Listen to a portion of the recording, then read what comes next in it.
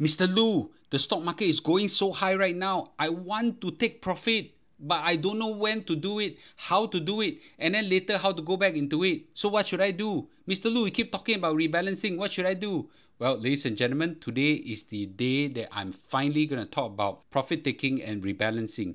There is a science to it that I would like to share with everybody, and let's go, get on with the video, shall we? To start off, let's uh, take a look at our disclaimers. Please read it.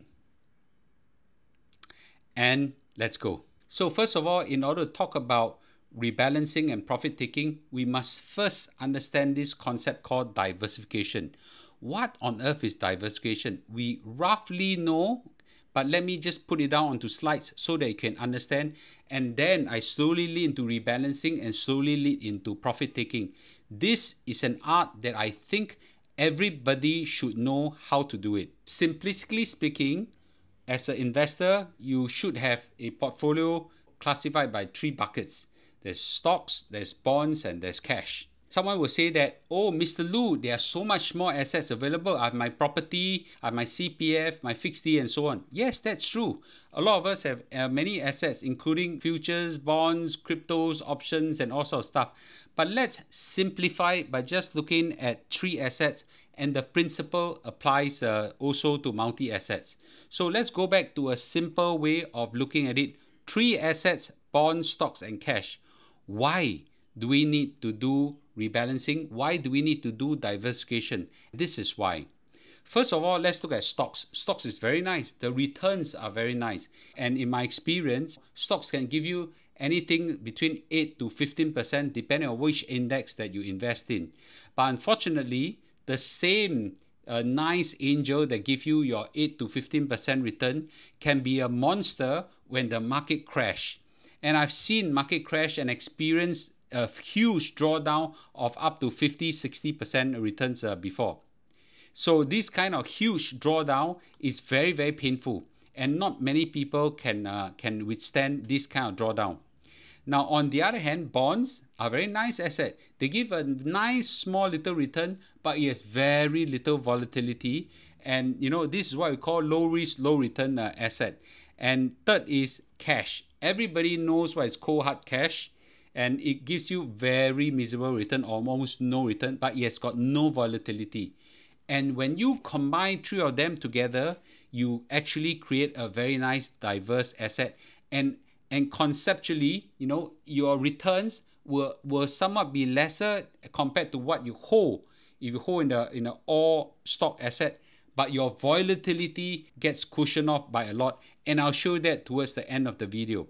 So, how do we do rebalancing? This is an art that everybody needs to have.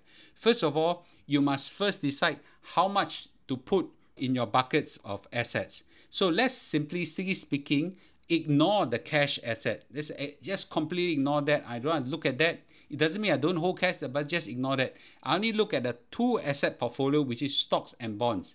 And I've decided for myself, my age profile, my risk profile, that know 60 40 is the best. You could do 50 50 or 70 30 no right or wrong but that's really up to your risk profile.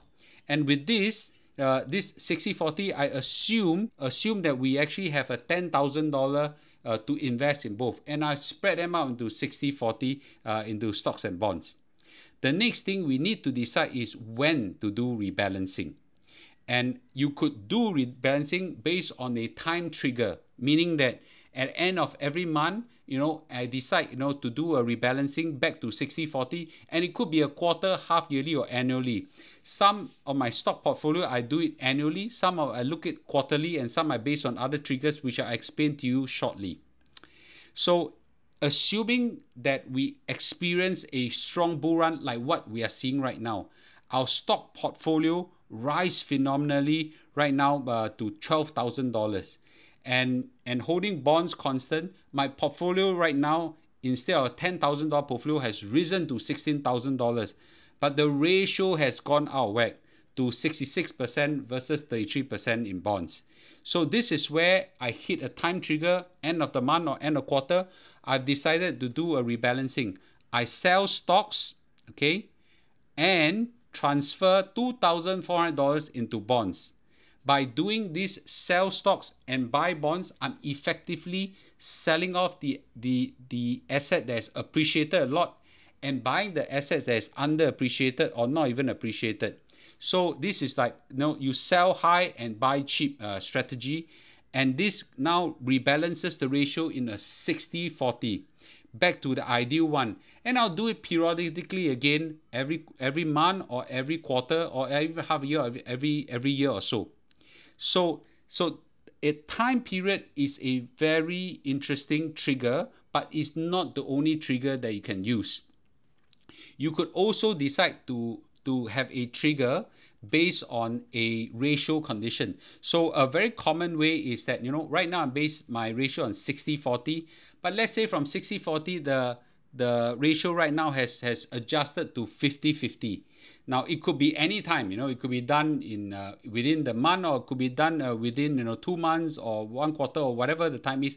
But whenever I hit this trigger, I initiate a rebalance.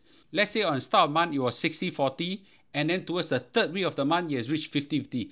I could rebalance it uh, to, to make it back to the 60-40. The act of rebalancing that I've explained earlier effectively sells down the, the rising assets and buy the assets that is underappreciated. So this is, uh, is in abstractly speaking, a kind of profit taking. And I'll explain that to you later again. So what if we want to include cash into this uh, portfolio? Let's look at it, shall we? First, we also need to decide how much to put into the three buckets. And in this example of $10,000 for investments, I've split the ratio into 50, 30, 20. No right or wrong on these ratios. It should be a ratio that you are, you are emotionally comfortable with. And let's say I've decided to pick 50, 30, 20 into stocks, bonds, and cash respectively. This I will adjust periodically, let's say once every month. Then we got to decide when to do rebalancing and I've decided that you know I could do it once a month or once a quarter. And when I hit the time frame, let's say the ratio of of 50 30 20 now becomes out of whack because there's a terrible stock market crash. No, so in this terrible stock market crash, I lost a lot of stocks, uh, probably by about half of it, but my bonds and cash remain intact. So my total portfolio size is left with 7,500.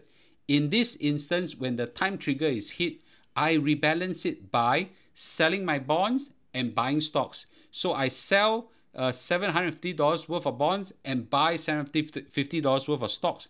Similarly, I, I use up $500 of cash and put in the stocks as well. So this simple okay, art of rebalancing now recalibrated my ratio back to a 50 30 20 while the portfolio is now smaller at 7500 I've now recalibrated back the ratio. The act of rebalancing actually forces me to buy the asset that has crashed and sell the asset that is relatively more expensive. So this is rebalancing. The question right now is, Mr. Loo, you talk so much about rebalancing. Why on earth do we need to do rebalancing? Well, this is why. If you were to look at this graph here, it will explain to you why. So if you look at the green line, the green line represents the S&P 500. The S&P 500, if you put $10,000 inside over a period of 20 years, okay, and these are actual data, real data based on uh, S&P 500 over the last 20 years, you actually gain about 10.5%. Very nice return, okay. In fact, at the end of the 20 years, your $10,000 become $80,000. Damn shock, right? But unfortunately, along this 20 year period, the worst, the worst time you actually get a maximum uh, stock market fall on your portfolio of 50%. In fact, almost 51%. And that's very painful. Very few of you can take a blow of a 50% drawdown in your portfolio. So this portfolio of 50% drawdown will cause you to react in the wrong way. Let's say we take a look at a 60-40 ratio, okay? And if you take a 60-40 ratio between stocks and bonds, the returns fall to 8.6% or so. But the maximum drawdown falls by half, by half, you know. And that's a lot more comfortable and more tahanable, okay? And and that's something that you know you are you should be willing to trade off. You trade off some returns in exchange for for a maximum drawdown, uh, uh, a cut down. So this actually help your portfolio to be easier to manage, nicer to manage. So let's say you take a cash position in your portfolio and now becomes 50, 30, 20, which is 50% stocks, 30% bonds, and 20% cash. Look at what the return is. The returns have, will fall by about 1 more percent to 7%, which is still very decent, but your maximum drawdown is now maximum of 20%. Very much manageable. So actually, the whole art of rebalancing you know, is basically helping you to still enjoy a decent rate of return every year without suffering the terrible maximum drawdown.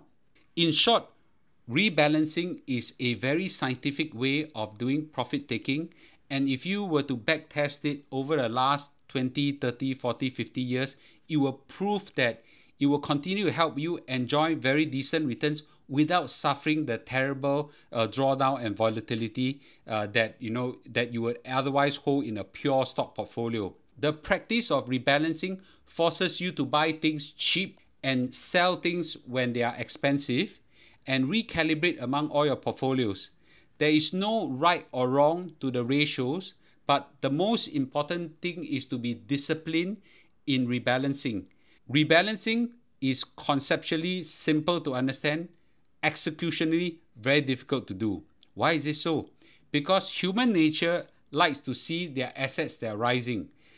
When you rebalance, it basically means that you you force yourself to sell the asset that's rising. And you when you want to sell asset rising, your mind will be thinking that asset should go up more. Why am I selling it?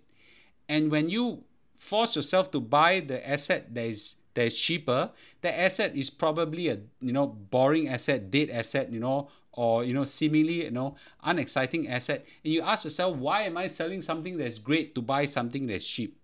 But if you were to discipline yourself to this to this uh, rebalancing, you will find that you know over the long run, your your your volatility is much easier to manage, and you will enjoy profit taking, and you won't suffer those terrible drawdowns that I've actually explained to you. Rebalancing is a very critical part of stock investment, and I use this uh, session to explain to you in a simple way. It requires some training to achieve the investment muscles to learn how to do it. So start something small first and then you know over time build it to something into a main portfolio. I'm happy to take your questions in the uh, YouTube comments or we can discuss it in our Telegram channel, uh, Loo1M65, where we have 30,000 people over there and most importantly has a, a team of community experts you know at your service. I would like to thank you for watching this and remember, hit like and subscribe, and I'll see you in a day or two. Bye bye.